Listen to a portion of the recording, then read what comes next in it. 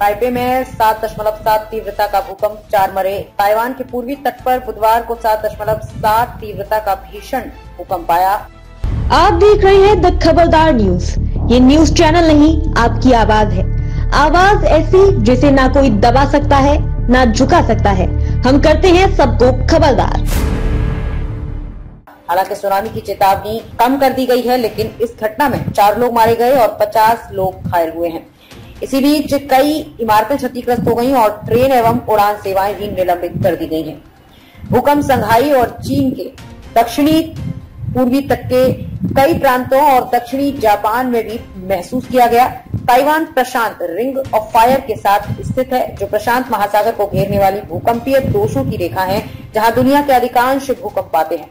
Taiwan में भूकंप live चार की मौत, सात घायल।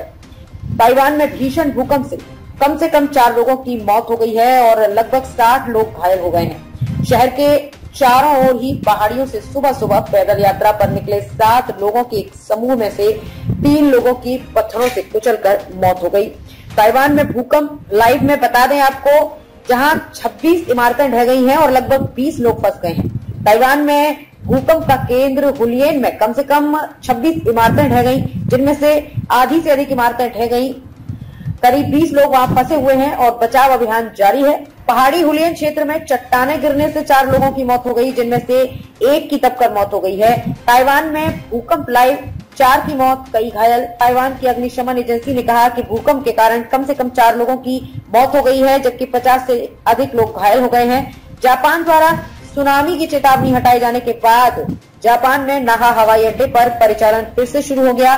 जापान मौसम विज्ञान एजेंसी, जिसने शुरू में ओकिनावा के दक्षिणी द्वीप क्षेत्र में तीन मीटर यानी कि 10 फीट ऊँची सुनामी लहरों के खतरे की चेतावनी दी थी। ने कहा कि कई स्थानों पर बहुत छोटी लहरें भी दर्ज की गई हैं।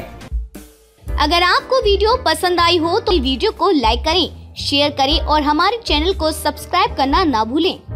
अपने सपनों का घर बना रहे हैं। एपी कंस्ट्रक्शन सॉल्यूशंस आपके लिए तैयार है। मज़बूत सिविल इंजीनियरिंग से लेकर आकर्षक वास्तुकला और विशेषज्ञ वास्तु परामर्श तक हम आपके सपने को साकार करते हैं। वास्तुकला, वास्तु और हुनर इतने बढ़िया।